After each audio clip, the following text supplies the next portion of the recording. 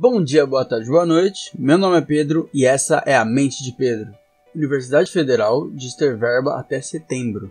O presidente da Associação Nacional dos Dirigentes das Instituições Federais do Ensino Superior diz: Não será possível manter as instituições funcionando adequadamente se o quadro não for rapidamente alterado. As universidades não têm dinheiro para energia, limpeza, segurança, entre outras várias despesas básicas de uma universidade. O descaso com a educação superior pública está atingindo níveis catastróficos. Muitas federais podem entrar em greve por falta de capital. O Brasil é o 14 em carga tributária, e entre as 30 maiores cargas tributárias, o Brasil fica em 30 no ranking de retorno à sociedade.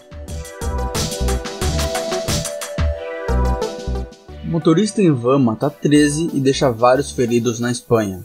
Num veículo alugado, o homem atropelou as pessoas num lugar comum para turistas em Barcelona. Dois homens foram presos, porém nenhum deles foi o motorista, que fugiu a pé e, segundo a polícia espanhola, foi morto horas depois. Os documentos usados para alugar a van foram roubados de um cidadão marroquino, que disse não estar envolvido no atentado. Polícia espanhola para segundo ataque em Cambras. Mataram cinco pessoas que, segundo a polícia, usavam cintos explosivos.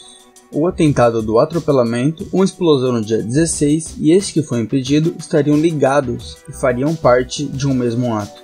O Daesh, auto-intitulado Estado Islâmico, reivindicou a autoria dos atentados. Não foi confirmado se o Daesh teve presença no ataque. Para entender melhor sobre a autoria dos atos terroristas, vou deixar na descrição um podcast sobre o tema.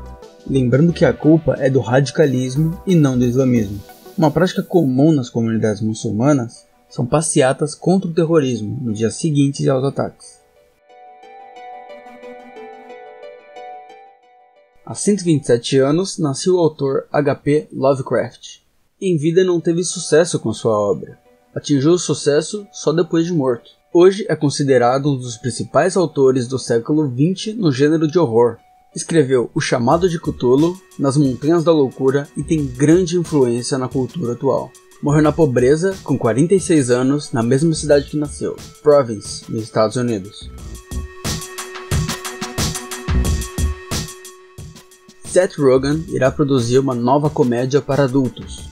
O nome do filme será Good Boys e contará a história de quatro garotos de 12 anos vivendo a transição da infância para a adolescência. O time de produção é bem conhecido. Seth produziu e escreveu Superbad, Pineapple Express e Festa da Salsicha. Os escritores do projeto são os mesmos do premiado The Office e do lucrativo Bad Teacher. O filme, ainda sem data de lançamento, mas já muito esperado pelos fãs dos produtores e do gênero. Sai The Defenders na Netflix.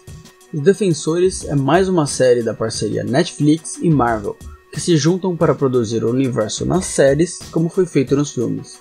O Demolidor, Jessica Jones, Luke Cage e Punho de Ferro formam uma equipe para derrotar o inimigo comum.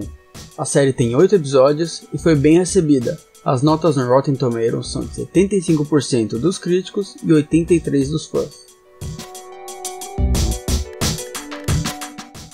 Eu quero recomendar um canal nessa semana. O nome é Wisecrack, é um canal em inglês muito interessante. Fazem vídeos sobre filosofia de filmes, jogos e desenhos. E junto com a nova temporada de Rick and Morty, eles fazem um vídeo por episódio, onde eles analisam e explicam as coisas que você não veria só assistindo casualmente. As notícias estão na descrição. Dê like, comente, se inscreva e fui!